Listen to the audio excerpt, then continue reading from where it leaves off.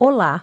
Primeiramente, seja bem-vindo ao canal. Lembre-se de deixar seu like e se inscrever clicando no botão inscrever-se e depois no sininho. Obrigada! Além de contar com os feriados de finados e da proclamação da República, o mês de novembro acomoda o Dia da Consciência Negra, que gera mais uma folga em alguns lugares do Brasil, no dia 20. Em certos casos, como aconteceu neste ano, a data comemorativa pode gerar um total de seis dias de alegria para quem curte e pode descansar. Legalmente, o Dia da Consciência Negra nasceu com uma lei de 2003, que colocava o ensino de História e Cultura afro-brasileira no currículo escolar do ensino médio e fundamental. Além disso, um dos artigos dizia que o dia 20 de novembro seria reconhecido como Dia Nacional da Consciência Negra no calendário escolar. Já em 2011, outra lei nacional envolvendo o dia 20 de novembro foi aprovada.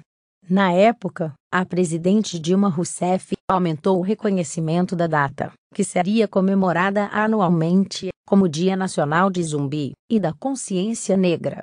Porque não é feriado em todos os lugares, como é possível ver na Lei nº 12.519, de 2011, o governo brasileiro não estipula o Dia da Consciência Negra como um feriado nacional. Por causa disso, os estados não são obrigados a celebrar a data com um dia de folga. Ainda assim, o reconhecimento permite que municípios e estados definam seu posicionamento. Em Alagoas, local onde nasceu Zumbi dos Palmares, o Dia da Consciência Negra é considerado feriado, por exemplo. Outros estados, como Amazonas, Amapá, Mato Grosso e Rio de Janeiro, também possuem leis específicas para a celebração do dia 20 de novembro.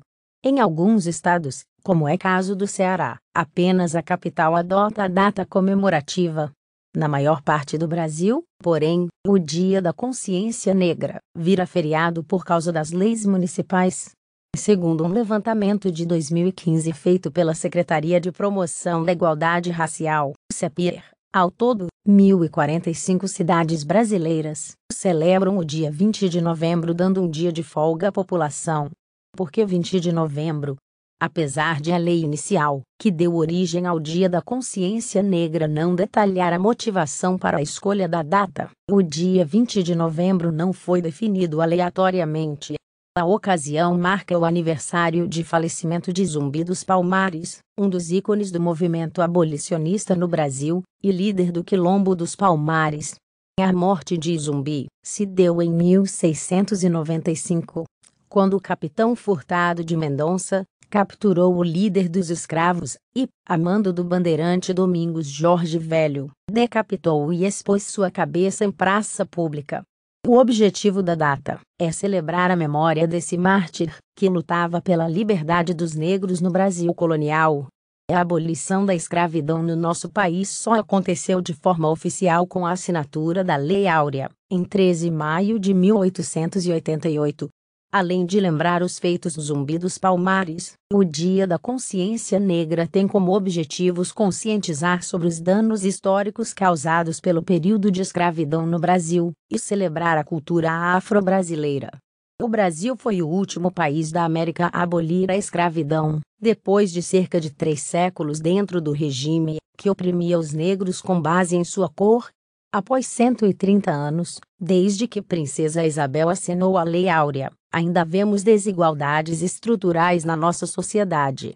Segundo o Atlas da Violência de 2017, a maioria dos casos de homicídios ocorridos no Brasil envolvem jovens negros.